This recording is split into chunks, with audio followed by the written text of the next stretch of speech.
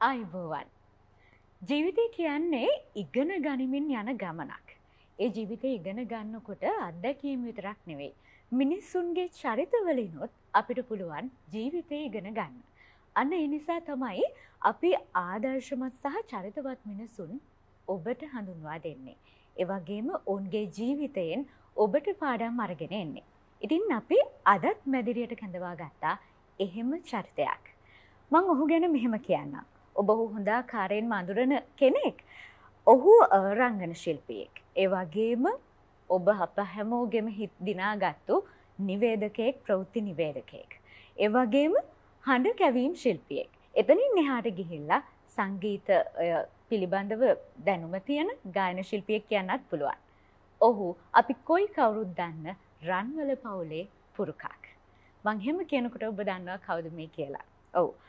හරිම ආදරයෙන් සහ ගෞරවයෙන් පිළිගන්නවා චිරන්ත රංවල. ආයිබෝවන් ඔබතුමාට. කතාබහට ප්‍රවේශයක් ගන්න ඕන නිසා මමසගේ මෙහෙම අහන්න.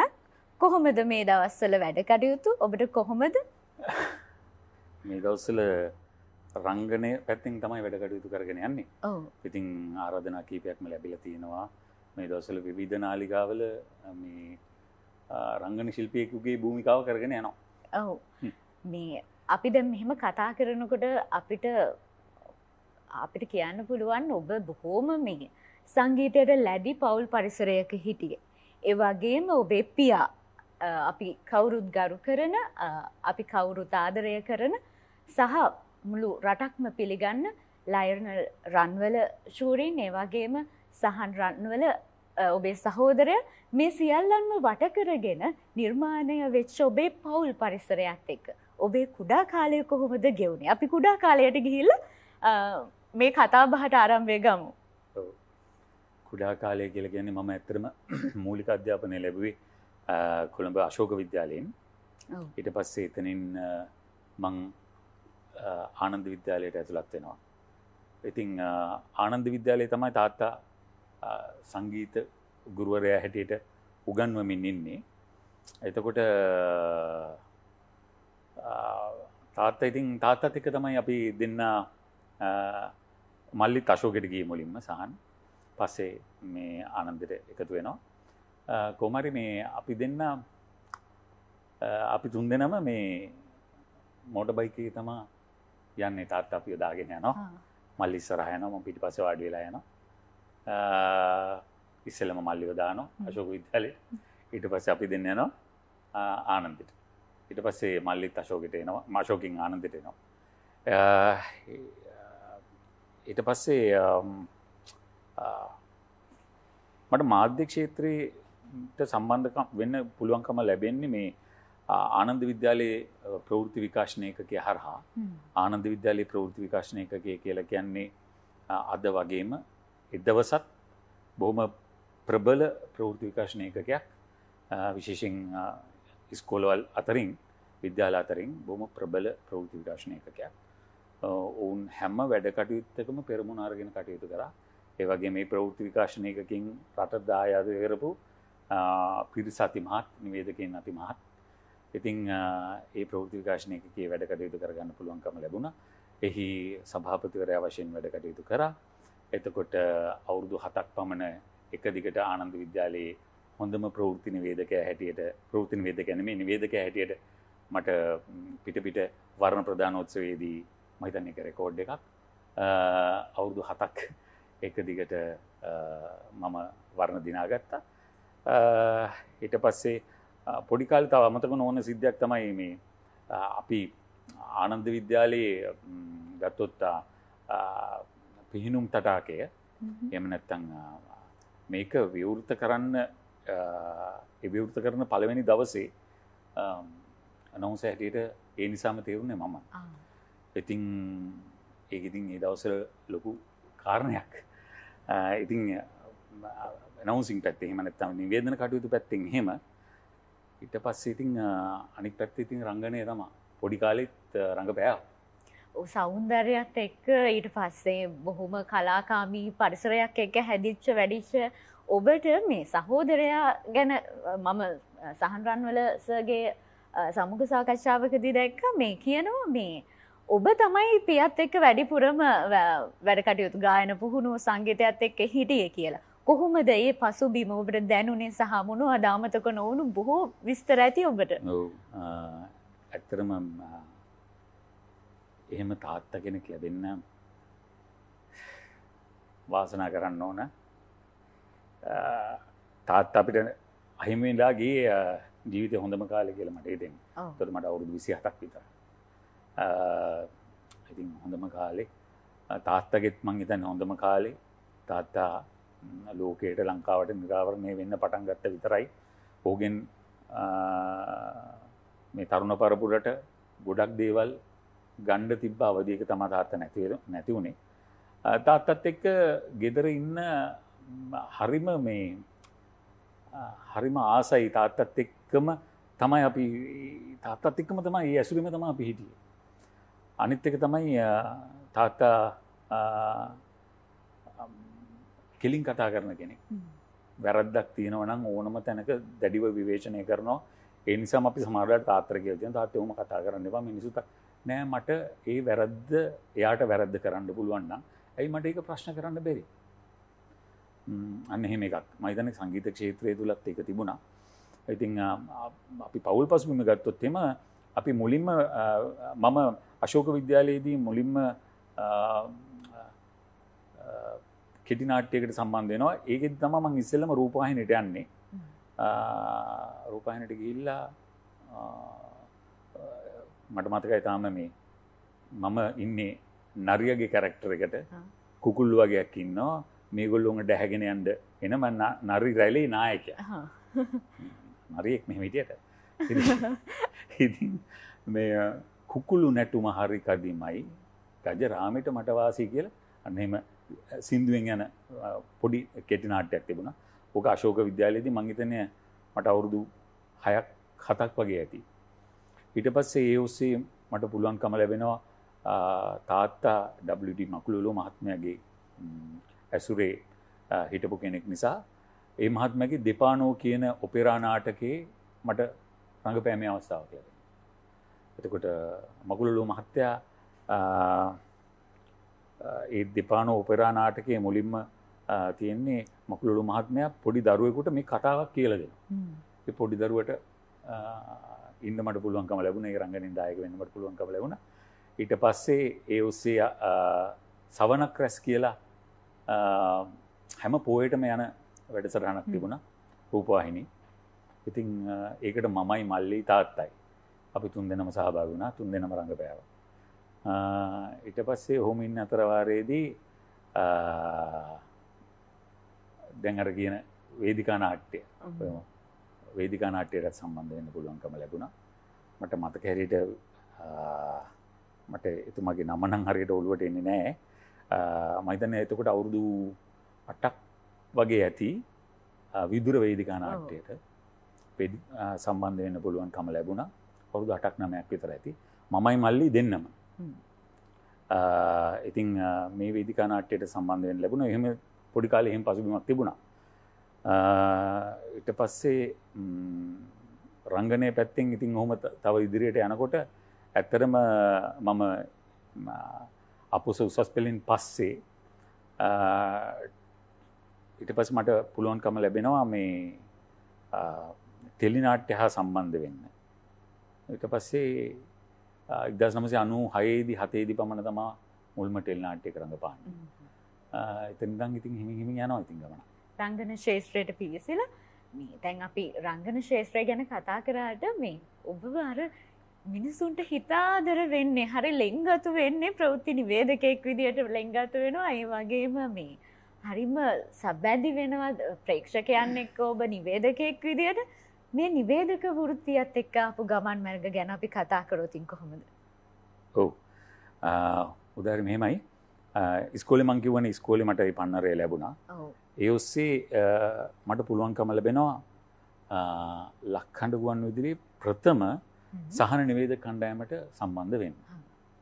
තකොට ඉතින් සහන නිවේදකින් විදිර සම්බන්ධන එක මේ ශ්‍රී ලංකා ගුවන් විදිලි සංස්ථාවම වෙනමම තමා ලක්කණඩ පටන් ගන්නේ. එක පැත්තක පොඩියට පටන්ගත් ආයතනැක් ඉතින් ඒක සහන නිවේදක. අපි ඉතින් හරිම ආඩම්බරෙන් යන ගමනක් ඒක සහන නිවේදකය විදිහට. ඉතිං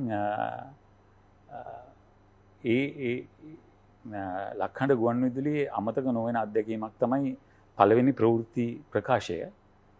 ඒක ඉදිරිපත් කිරීමේ වාසනාව මට හම්බේනවා.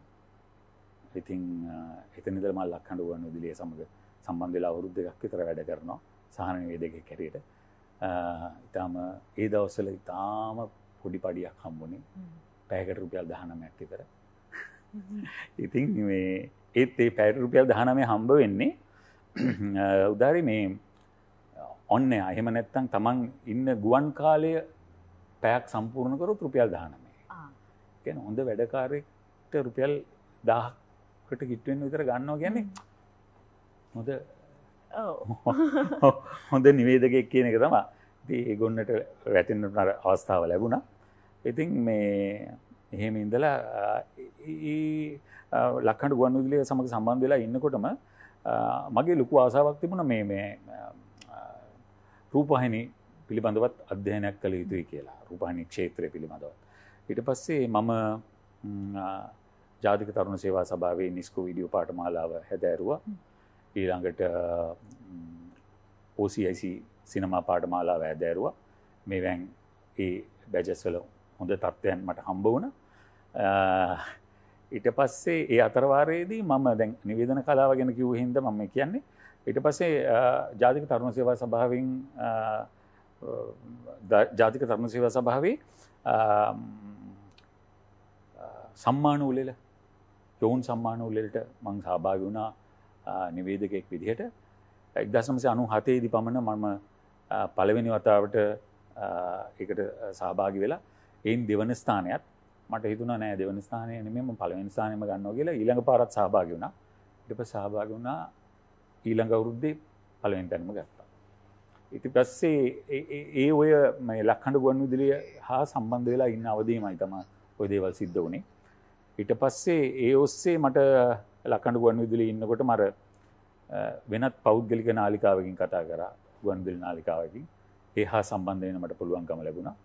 ඊට පස්සේ ඒ ඔස්සේ ඒ හා වැඩ කටයුතු කරගෙනනට එදැන් ඒ පෞද්ගලික ගුවන් විදිලි ආයතනයේ මම ඕල් රවුන්ඩ ගෙනෙක් ඇත්තරම උදේ වැඩසරහන් නිවේදනය කරනවා.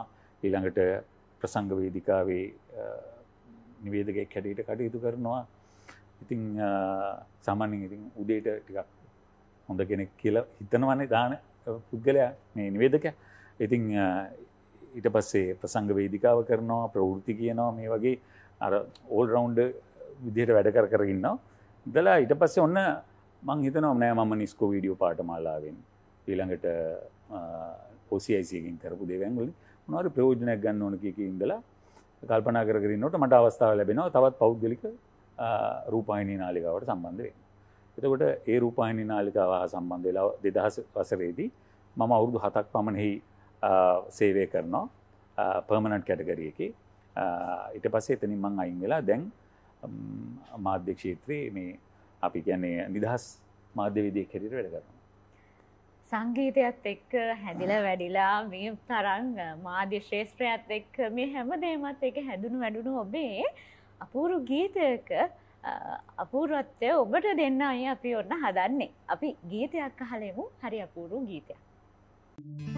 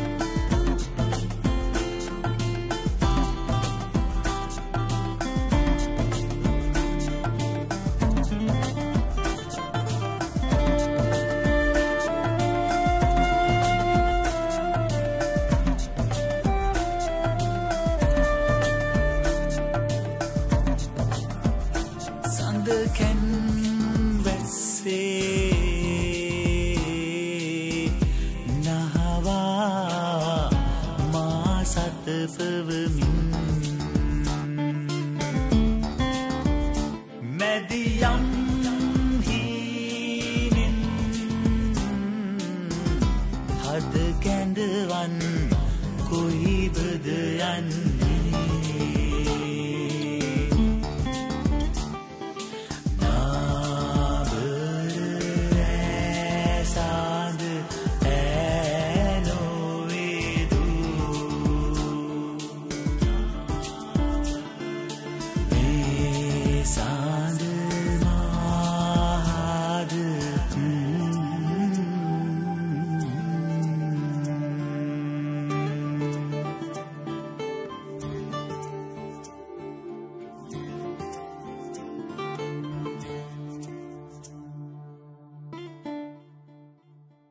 නාඹර රෑ සඳ ගීතය බලලා ආපු වෙලාවේ සර් මම අහන්න කැමති මේ කොහොමද මේ ගීතය හැදෙන්නේ සහ මේ ගීතය ගැන අපි චුට්ටක් කතා කරමු. ඕ මං හිතන ඕක මේ අවුරුදු දැන් දහයකට දොලාකට විතර කලින් හැදිච්ච ගීතයක් හා. ඒ දවස්සල මං අර පෞද්ගලික නාලිකාවෙන් අයින් වෙලා නිදහස් මාධ්‍යවේදියෙක් හැටියට වැඩ කටයුතු පටන්ගත් අවදියම අපේ සහන් මල්ලිගේ ආරාධනයක් තිබුණා අයියේ මේ දැන් ඔයා තමයි තාත්තත් එක්ක මේ වැඩ කටයුතු වල මුලින් හිටියේ පස්සේ මං ඇත්තරම මේ මාධ්‍ය ක්ෂේත්‍රයට සම්බන්ධ වෙන නිසා තමයි මට තාත්තගේ වැඩ කටයුතු එක්ක සම්බන්ධ වෙලා වැඩ- දිගටම වැඩ කරගෙන යන්න බැරි වුණේ. ඒක මට මග ඇරෙනවා. ඒ මග ඇරිච්ච මග ඇරිලා තාමත් මග ඇරිලා තියෙන්නේ ඇත්තරම. සහන් තමයි වැඩ කටයුතු දිගටම කරගෙන යන්නේ. ඉතින් මේ සහන් කියනවා මෙහෙමයි දැන් ඔයාට ගායන හැකියාවකුත් තියෙන එක අපි ඔයා වෙනුවෙන් මම සින්දුවක් කරනවා. මේක ලියන්නේ නිලාරෙන් කාසිම්. එතකොට අපි මේක කරමුද? මං ඉතින් ඇත්තරම මේ මම දන්නේ මට මේ මේ නිදහස් මාධ්‍යවේදියෙක් වුණාට පස්සේද මන් දන්නේ මං අර ෆෝවර්ඩ් ගතියෙන් පොඩ්ඩක් මිදුණා කියලා මට හිතෙනවා. මං ඉතින් හරි අධිමදි කරලා නේ බෑ මල්ලි නෑ නෑ ඔයා මේක කරන්න ව- නැත්තම් ලොකු අඩුවක් ඇයිවා මේ මේ වගේ වැඩක් බාරගෙන කරන්න නැත්තේ කියන එක මට පෙන්නලා දීලා ඊට පස්සේ කොහොම හරි අපි මේක අ, රංගදසනායකගේ ස්ටුඩියෝ එකේ මේ රෙකෝඩින් පටන් ගන්නවා. ඒතර මේක ඇත්තරම අ, මේකේ සංගීතය සහන්රන් වලගේ මේක කුවේණී වැලපුමයි අ, පිරිත්තෝසේ ඇසුරෙන් ඒ ජනගී ඇසුරෙන් තමා මේ ගීතය නිර්මාණය වෙන්නේ. ඊට පස්සේ අ, ඇත්තරම රෙකෝඩින් කරන වෙලාවේ රංගත් එතන හිටියා. රංග දසනායක කියලා කියන්නේ මේ අ, සරත් දසනායක මහත්මයාගේ පුතා. ඉතින් ඒගොල්ලෝ ඇත්තටම ඒ වෙලේ පුදුමයට පත් වුණා. දැන් මම ඊට කලින් මේ වගේ ගීත ගායනා කරලා නැහැ. සහන් තමා අ, මේකේ පේන්න ඉන්නේ. අ, ඉතින් ඒ වෙලාවෙත් ඇහුවා මගෙන් ඇයි අයියෝ මේ දිගටම සින්දු කියන්නේ නැත්තේ කියලා. ඉතින් පස්සේ මම තාමත් සින්දුවක් කරලා නැහැ. දැන් අවුරුදු දැන් 12කට වැඩි. ඔව් මේ අපි සහන් රන්වල සර් ගැනත් කතා ඔබේ සහෝදරය ගැනත් කතා කරපු නිසා මේ කොහොමද මේ රන්වල බලකායත් එක්ක ඔබට තියෙන මතක සහ ඔබේ සහයෝගය කොහොමද ඔහුට මේ අපේ කම ලෝකෙට අරන් යන ගමනේදී හොඳ ප්‍රශ්නයක් හැමෝම වගේ අහන ප්‍රශ්නයක්. ඇත්තරම තාත්තගේ වැඩකටයුතු එක්ක මුලින්ම මට සම්බන්ධ වෙන පුළුවන්කම ලැබුණා. එතුරු මල්ලි ඇත්තරම පාසැල් යනවා. එතුරු මම අපි දෙන්නගේ අවුරුදු තුනක විතර වයස් පරතරයක් තියෙනවා. එවුණට ගොඩක් අය මගේ දය හම්බුනාම මගෙන් අන්නේ කොහොමද අයි එහෙම කොහොමද? කියල තම ආන්නේ. සියට අනු පහක් විතර. ඉතින් යා අයිය වගේ පේන ඇති. ම මල්ලය වගේ පේනවා. හොඳයිනේ ඉතින් මේ කොමරි තාත්තක වැඩකටයුතු එක මුලින්ම මට සම්බන්ධ වෙන පුළුවන්කම ලැබුණා. මමත් හරි ආසාාවෙන් ඒකට උනන්දුවෙන් තාත්තත් එක ගියා. අපි තාත්තත් එක්ක රට වටේ ගිහිල්ල දේශන තිබ්බා ජනගී ගැන. එතකොට තාතර තිබ්බෙ පුදුමාකාර ශක්තියක් පුදුමාකාර දැක්මක් සහ මේ ඉලක්කයක්. එකන ජනගීය සමාජගත කිරීම තමයි ඔහුගේ ඒකායන බලාපොරොත්තු වනේ මහිතනො දැන්වෙනකොට ඒක අපිට යම් පමණකට සමාජය තුළ දකින ලැබෙනෝ කියලා. විශේෂයෙන් අර තැන් උදාරි වැඩසරන් පටන්ගනට අයිබෝන් කියලා අදක එකට එකතු කරල කිව්ව. නමුත් අනුවේ මුල ගණන්වල අනුවදශක මුල ගණන්වල ආයිබෝන් කියන එක කෙනෙක්ට ලැජ්ජා සහගත. අර අපි ගැන නිකන් අනේ ගොඩේ කියල කියන්නේ. අන්න එහෙම තත්ත්වයක් තිබුණා. නමුත් තාත්ත ඒ වෙනුවෙන් හරියට සටන් කර. ඇයි අපි වෙනත් භාෂාවකින් ආමන්ත්‍රණය කරන්නේ සුභ පතන්නේ? ඇයි අපිට ආයිබෝන් කියන වචනය තියාගෙන? ඇයි අපි මේ අනුන්ගි දෙයක් කරපින්නාගෙන යන්න කියන එක?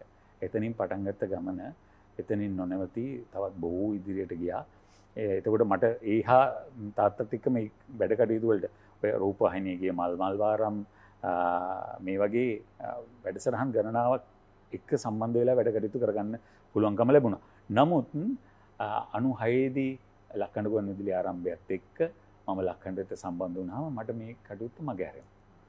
එතකොට හැබැයි වාසනාවට මල්ලි මේ වැඩකටුත් හා සම්බන්ධ වෙනවා. තුර තාත්තෙක් තාත්ත දෙදස් දෙක වසරේදී නැති වෙන්නේ අනු හයේදි පමණ ඉඳන් දිගටම මල්ලි මේ වැඩකටයුත්තේ තාත්තත් එක ඉන්නවා. ඊට පස්සේ තාත්තගේ අභාවයෙන් පස්සේ මේ වැඩකටයුත්ත ඇතර මම හිතුවෙත් නෑ මේ තරම් දුරට සාර්ථකව ගෙනියන්න පුළුවන්කම ලැබෙයි කියලා නමුත් මල්ලි අභියෝගය භාරගෙන අදටත් අර උඩුගම් බලා යන ගමනක් යනවා ම හැමතිස්සම ඉතින් යට මේ ආශිර්වාද කරනවා මේ වැඩ කටයුත්තට. ඔව්.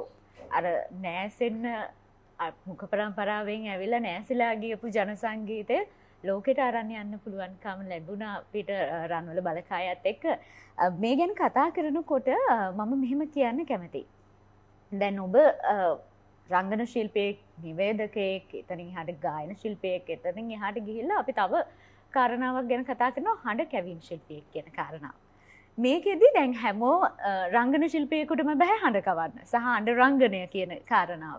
එතකොට හැම නිවේදකයකුටම හඬ රංගනය හෝ හඬ කැවීම බැහැ. කොහොමද මේ ගමන පටන් ගන්න සහ ඔබ හඬ රංගනයෙන් දායක වුණු සහ හඬ කැවීමෙන් දායක වුණු චරිත රැසක් මිනිසුන්ගේ අපේ හිතවතුන්ගේ හිත් ඇද බැඳගෙන තියෙනවා. ඔවුන්ට මතක ඇති. ඔබේ කටහඬ ඇහෙනකොටව කොහොමද මේ කාරණාව පටන් ගන්නේ? මේ ශේෂත්‍රයට යන්නේ?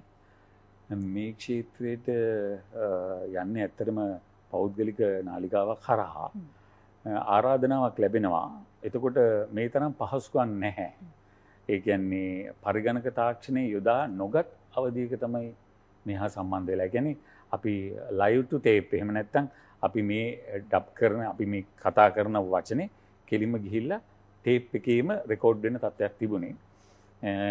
ඒ කාලි තම එකට සම්බන්ධයෙන් ඉතින් එක හරි අපහසු දෙයක් අභියෝගාත්මක දෙයක්. මොකද දැන්නම් කටාන්ඩ පොඩ්ඩක් එහෙමේ වුණත් අපිට පුළුවන් පරිගණක ඇසරු කරගෙන ඒක පොඩ්ඩක් එහිට මෙහිට එජස් කරගන්න. නමුත් එහෙම පහසුකමක්වත් තිබෙන නැති අවදීක ඒක පුළුවන්කම ලැබුණා. ඒ වැඩකරුත් හා සම්බන්ධයෙන් අනික දැන් රූපවාහිනි ඔය ටයිටස් තොටවත්ත මහත්මයා කරපු ඒ දොස්තර හොඳ හිත ඇතුළු ඒ මේ පිස්සු පූසා මේ වගේ දේවල් බැලූ හම අපි ඒව මේ මේකං ගෙදරඉන්නකොටත් ඒ වගේ ඒවා මේ ප්‍රක්ටිස් කර. හරි ආසාාවක් තිබුණා. ඒ ආසාාව මල් පැලගැන්වෙන්න ලැබුණා. ඒ ඔස්සේ යම් ගමනක් යන්නත් ලැබුණා. එකට ඇතරමිතින් අදෝසින් සතුටු වෙනවා. අනිත්කාරණය තමාරෝ උදාරි කිව්ව වගේ මේකර වෙනමම ක්ෂේත්‍රයක්. අර සාමාන්‍යෙන් රංගන ශිල්පියකුට හැඳකවන්නත් බෑ. නමුත් ඉතින් ගොඩක් රංගන ශිල්පියෝ ඒ හා සම්බන්ධව කටයුතු කරනවා. හැම නිවේදකයකුටම බැහැ කියන එක නම් පිළිගණඩ වෙනවා සමාර වෙලාවට ඉතින් ඒ ක්ෂේත්‍රයත් මම වැඩකටයුතු කරගෙන යනවා. මේ මේ මේ මේ දවසලත් වැඩ කීපක නිර්ත වෙලා ඉන්න ඔබේ සිද්ගත්තම චරිතය මොකක්ද එහෙම? හඬ කැවීමේ. එකක් මේ ඊ පෙරේද කලා හැබැයි ඒක මේ අපි කියන්නේ ෆෝන් එකේ එම නැත්තං දුරකතනේ ඇප්පේකට යෙදවුමකට කරපු එකක්. යෙදවුමකට කරපු එකක් ඒක තිබුණා ටිකක් විලන් රෝල් එකක්. එම නැත්තං දුෂ්ටේක්ගේ චරිතයක්. ඒක තාම ඒ ඇප් එක තාම ඒ වැඩි එලියට ඇවිල නෑ ඊට අමතරව අනන්තයෙන්න්න තරුකුමර කියලා එකේ මේ ප්‍රධාන චරිතයට රඟ පෑවා මේ කටාන්ඩ දුන්න. ඒක ටිකක් වෙනස් විදිිය වැඩක්. අභියෝගාත්මක එකක් අවුදු හාරසියක් විතර පර පරණ මනුස්සෙක් ඉතිං නමුත් තරුණයෙක් එයා එක වෙලාවකට ලෙක්චර කෙනෙක් එම නැතැන් ගතිකාචාරවරේ එක වෙලාට බොහොම ආදරණීයයි. සමහටය තනියෙන් කතා කරනවා. මේ වගේ විවිධ පරාසයන් තුළ හඬ වෙනස් කරමින් කරන්න තිබුණු චරිතයක්. ඉතින් මම බොහෝම ආසාාවෙන් බොහොම නන්දුවෙන් ඒ හඬ කැවීම කලා ඒ වගේම හිතුවටත් වඩා ඒකට හොඳ ප්‍රතිචාරත් ලැබෙනවට. ඔබ මේ ඔබේ ආදරණය ආදරය දිනාගත්තු චරිත හෙම කිහිපයකට මොහො අඩ දායකත්වය දැක්වා. අපි දැන් කතා කරා බොහෝ දේවල් ඔබ නිවේදකේ ක්‍රංගන ශිල්පියෙක් මේ විදියට වෘතින් ගණනාවක්. එම නැත්තං ඔබ බොහෝ දේවල් කරනවා. හැබැයි දැන් තරුණ පිරිස ගැන ගත්තොතින් අද වර්තමානයන්න.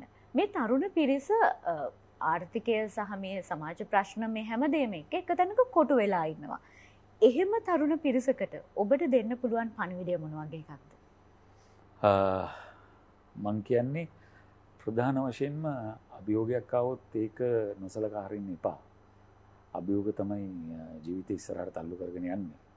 සමාරලාට ඔය කිව්වට මමත් සමහර අභියෝග භාරගත්ත නෑ. ඇතරම උදාරී. එකන මගේ ජීවිතය හොඳම කාලේ මම මාධ්‍ය ක්ෂේත්‍රය හා සම්බන්ධ වනේ ගෙන හොඳම කාලය කියල කියන්නේ රංගන ශිල්පී හැටියට මට ඉදිරි ගමනක් යන්න පුළුවන්කම තියද්දි තමයි මම එක නැර අපි ගැන කොල්ල කාලේ. එතර කොල්ල කාලේ පෙම්මතාගේ චරිතය කරන්න පුළුවන් අවදිය පහු කරලා දැම් මැදිවයසට ඇවිල්ල තාත්තලගේ චරිත කරනවා. හරද? එතකොට ඉතින් නමුත් මම ඇත්තරම මාධ්‍ය ක්ෂේත්‍රය හා සම්බන්ධවීම මම මේ ඒක නිසා මං දුක්වෙනව නෙමෙයි.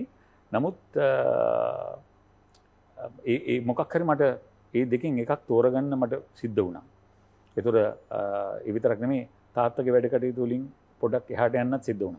හැබැයි මාධ්‍යක්ෂේත්‍රයට ආපු නිසා මාධ්‍යක්ෂේත්‍රයට ආපු නිසා මට මම මාධ්‍යක්ෂේත්‍රය ගැන කතා කරපු නිසා අවසාන වශයෙන් කියන්න මට්ට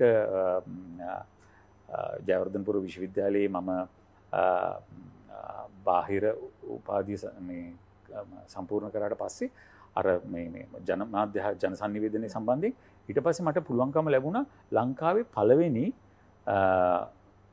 රූපවාහිනි හා ගුවන් විදුලි රාජ්‍ය සම්මාන උලෙලේදී හොඳම ප්‍රවෘත්ති නිවේදකයට හිමි සම්මානය ලබාගන්න පළවෙනියටම කියන ඒ උත්සවේ පළවෙනිම